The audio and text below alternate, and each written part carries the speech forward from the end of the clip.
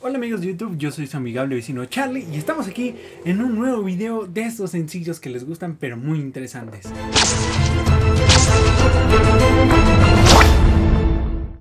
Resulta que algunos ya habrán sabido la noticia de hace un par de, un par de tiempo que sucedió que Eddie Brock iba a aparecer en la película original de Spider-Man. Sí, hablamos de la primera de Sam Raimi.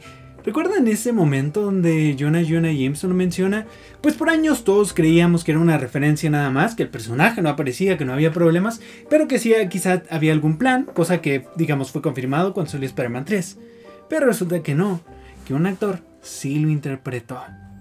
Y bueno, esta información, amigos, específica acerca de sus escenas fue extraída totalmente de Arachno Crawler, el cual le dejo su video y su canal en la descripción por si quieren irlo a ver en inglés. Pero si no saben inglés, no se preocupen que yo estoy aquí para ayudarles.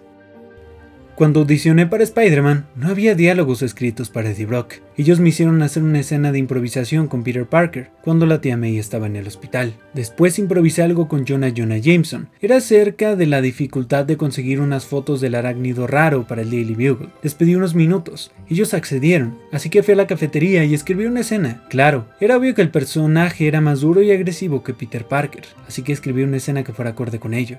El director de casting me dijo que Sam Raimi, Ian Bryce y Laura Sinsky estuvieron impresionados con mi trabajo. De hecho, levantó mi foto y una foto de Eddie Brock. Me dijo, mira la similitud. Pensaban que salía directamente del cómic, un match perfecto. Laura me recordó por mi trabajo en Pretty Woman, un filme que ya había producido. Dijo que era genial y me contrataron. Cuando fui al set a rodar, en el guion tenían exactamente las mismas palabras que había escrito para el director de casting. Más tarde, cuando fui a saludar, conocí a JK Simmons y a Tobey Maguire. Nuestros trailers estaban muy cerca el uno del otro. Estuvimos hablando por un tiempo, entonces Toby y yo fuimos al set juntos. Fue un ensayo. La siguiente cosa que hicimos fueron más ensayos. Yo hablaba con Jonah Jonah Jameson y le decía que el bicho raro era muy difícil de atrapar en cámara, pero haría el trabajo. Caminaba fuera de su oficina en un camino muy muy largo. Conocí a Peter Parker y a Robbie. Peter tenía una correa alrededor de su cuello, una vieja cámara de Ben Parker, su tío. Le hacía unas preguntas a Peter, él decía que era un camarógrafo amateur, buscando la manera de entrar al negocio. Antes de irme, tomaba su cámara y la miraba. Lo llamaba un novato. Luego salía y Jameson gritaba algo de que si no conseguía las fotos, me despediría. Continuaba caminando, decía, conseguiré las fotos. Después de los ensayos en mi tráiler, escribí más diálogos para la escena donde salía de la oficina. Pasó la toma y Sam dijo, ¿qué ha sido eso? Le explicaba que la caminata le faltaba algo, era un punto muerto. Él dijo, hagámoslo tal como está escrito. Pero después de una toma, él dijo, hey, ¿cuáles eran esas líneas? A él le gustaron las líneas, así que le dijo al supervisor de guion para que las integrara en el guion final. Después de eso, Sam y yo paseamos por ahí. Hablamos de Venom, el simbiote, Spider-Man en el espacio. Él estaba realmente fascinado. Él quería más. Así que se aseguró de que fuera un par de días más al rodaje, solo en caso de que me necesitaran. La siguiente cosa que Sam quería era muy divertida. Él me dijo, toma la cámara de Toby y ponla gentilmente en su pecho. Pero cuando rodamos la primera toma, él quería que lo empujara a la cámara contra su pecho realmente. Así que eso hice. Toby realmente estaba molesto. Debiste ver su cara. Cuando terminó la toma, Sam vino rápidamente y le dijo a Toby que él me pidió que yo hiciera eso, y que la reacción que había tenido en la cámara no tenía precio. Funcionó totalmente. Reímos después de eso. Toby me llevó a un lado y me dijo, lo entiendo, pero la siguiente vez, ¿qué tal si no me empujas tan fuerte? En la premiere de la película, Grant Curtis, coproductor de la película, me llamó. Él dijo que Sam luchó fuerte por mí, pero que al final la película fue muy larga y tuvieron que hacer cortes. Mis escenas no llegarían al corte final. Dijo que Sam amó mi trabajo y trabajar conmigo así que estar sin acreditar, lo que significa que IMDB sabría que trabajé para la película. Eso fue increíble de su parte. Yo nunca vi las escenas, me esforcé en poder verlas o tener una copia para mi reel. El reel amigos es un video corto de tu trabajo, el cual es llamado demo reel, con tus mejores momentos cuando eres actor o cuando tienes una productora. Solo aclaro esto para que sepan para qué quería leer estas escenas. Incluso Grant y Sam las pidieron, pero fue un rotundo no de Sony Pictures. Amigos, aquí hay un par de conclusiones importantes.